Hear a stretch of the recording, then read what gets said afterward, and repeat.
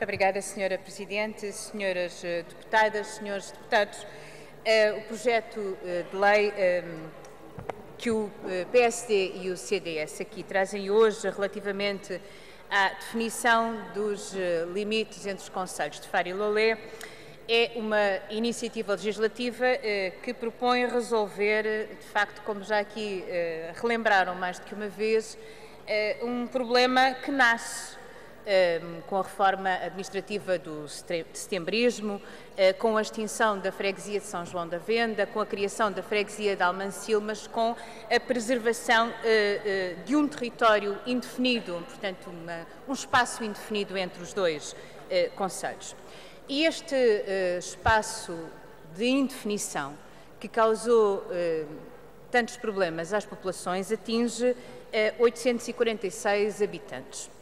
Um, se é um pouco pretencioso dizer que esta iniciativa resolve um problema que tem 176 anos, porque não é, não corresponde exatamente à realidade histórica, a verdade é que nós temos de uh, reconhecer que o problema existe, que afetava as populações, que tinha consequências danosas para, para as populações e que há aqui uma uh, tentativa de resolver um velho problema.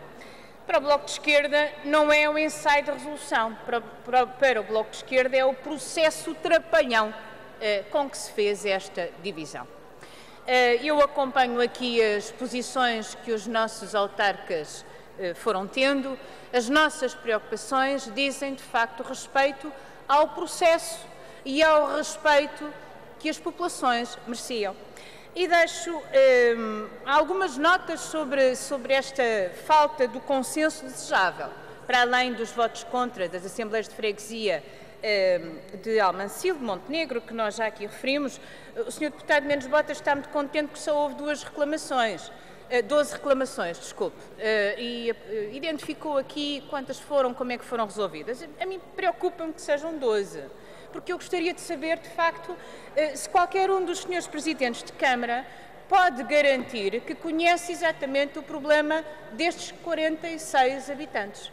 Se conhece exatamente as expectativas de todos eles, se é capaz de dizer que resolverá da melhor forma o problema de cada uma destas pessoas. Eh, porque é assim, eh, os senhores falaram em consulta pública, é verdade que falaram em consulta pública, mas o problema é que o processo não foi devidamente participado o processo não foi tão amplo, tão participado, tão acompanhado como deveria ter sido. Aliás, uma pergunta simples que vos eh, poderia deixar. Um, ehm, quem é que vai, qual é o gabinete, quais são as estruturas, quais são os mecanismos de acompanhamento destas populações no processo de transição?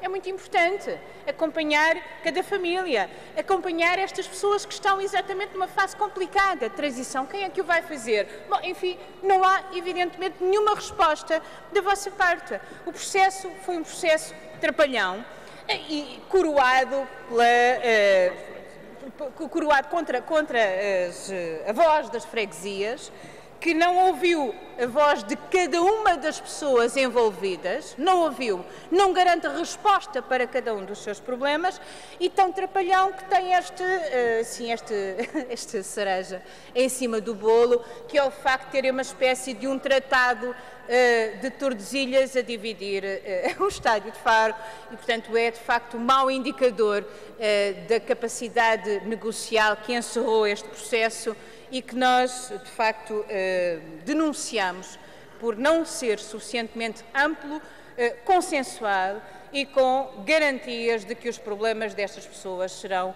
acompanhados, ouvidos, resolvidos da melhor forma. Foi todo este processo que nos preocupou.